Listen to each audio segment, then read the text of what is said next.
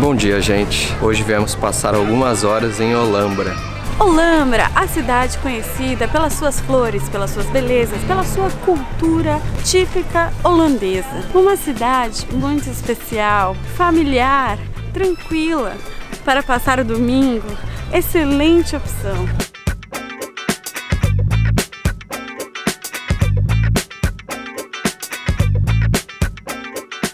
Esse é meu tamanho. Segundo o Guga, esse sapato é um sapato típico holandês. É um tamanco típico holandês, na verdade. Chama Klomp. E aí, você vai comprar um pra você usar? Acho que eu vou passar a oportunidade.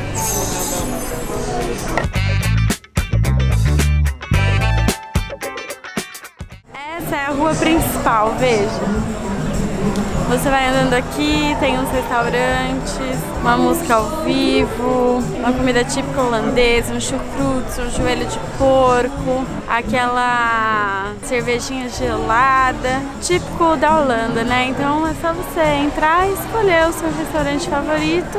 Um pouquinho da história de Olambra. A cidade foi fundada em 1991 e o nome Olambra vem dividindo O de Holanda AN de América e BRA de Brasil. Olambra. Aqui é muito conhecida pelas exposições de flores, principalmente a Expo Flora, que acontece em setembro, então essa é uma boa data para vir conhecer.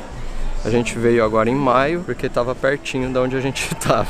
E é isso, vamos conhecer um pouco da cidade. A gente chegou aqui na, na Rua dos Restaurantes, que a gente já vai almoçar, que já está na hora do almoço. Então deixamos o nosso nome no restaurante Martim Holandesa, que parece que tem uma comida típica holandesa, que se assemelha muito da alemã, né? Joelho de porco, Eisbein, né? Eu não sei pronunciar direito, mas é isso aí. Eisbein.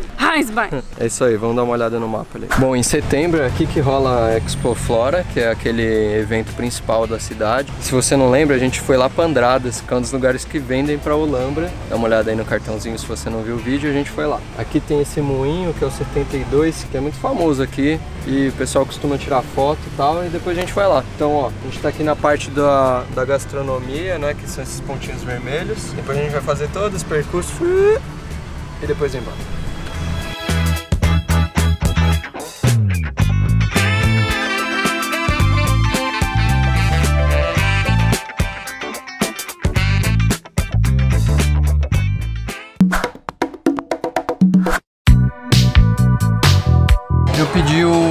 Martin Eisbein, que vem joelho de porco, chucrutes, é, aquele purezinho de maçã, uma salsicha lá que eu não lembro qual que é, e algum tipo de batata, foi 78 reais. O que significa Martin Eisbein? Martin é o restaurante, Eisbein é o joelho de porco em alemão ou neerlandês. Como se fala joelho de porco em francês?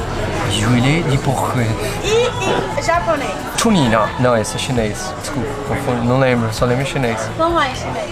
Chino, pá. Zoeira, não sei. Você tá ansioso? Tô. Quando? Gente, queria aproveitar esse espaço aqui para dar um de, mandar um beijo para todos vocês que comentam em todos os vídeos.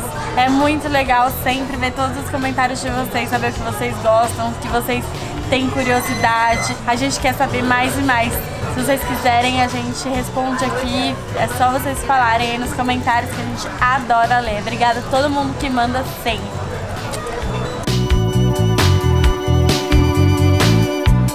Eu pedi o cardápio infantil, espaguete com E o Guga pediu o salsichão, que ele gosta muito.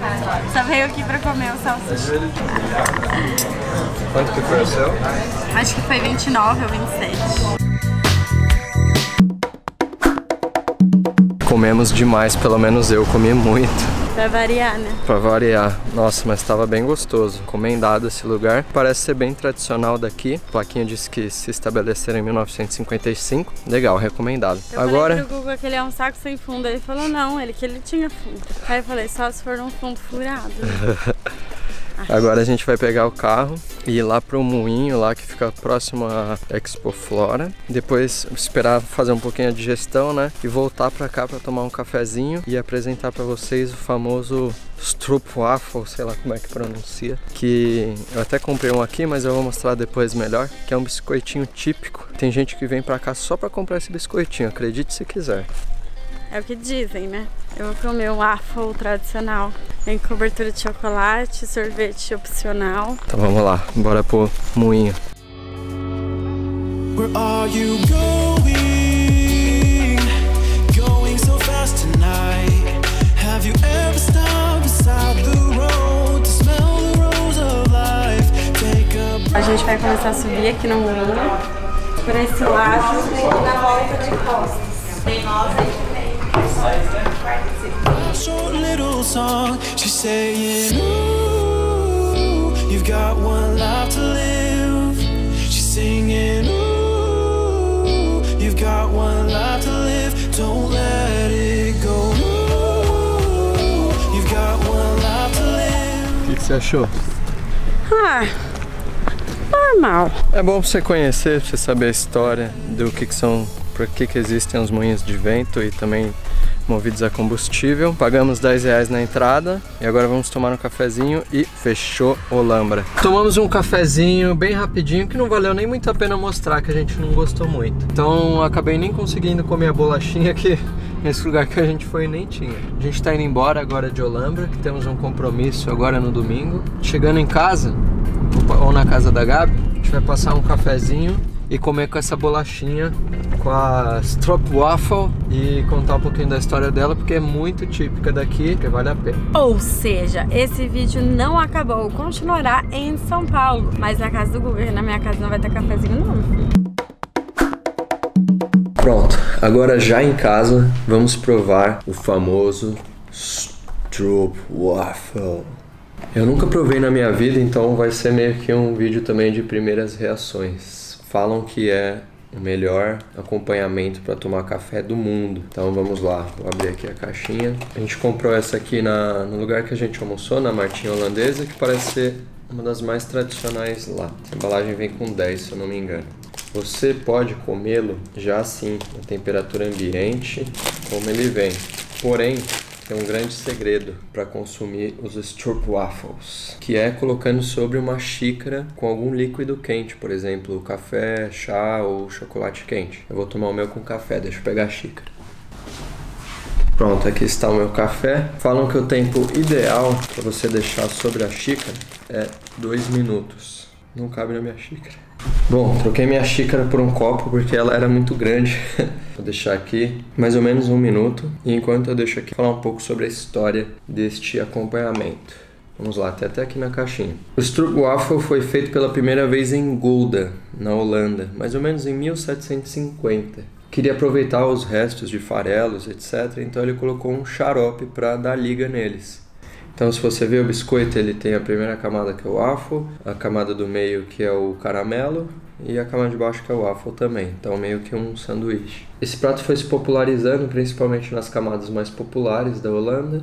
Rapidamente caiu no gosto da galera, né? E começou a ser produzido em massa. E até que realmente ele ganhou o mundo. Então, todo mundo conhece e é super tradicional.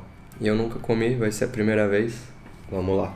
O segredo de você colocar ele sobre uma xícara ou um copo quente é que o vapor da bebida vai derretendo o caramelo, então ele fica um pouco mais gostoso. Já está bem molinho. Vou dividir ele no meio. Ó.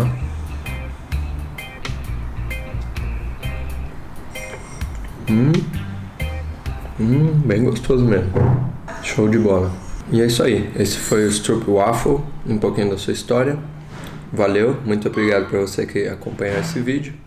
E até a próxima. Valeu. Beijo, muito bom, tá aprovado. Curta, compartilhe, comente e principalmente se inscreva no canal.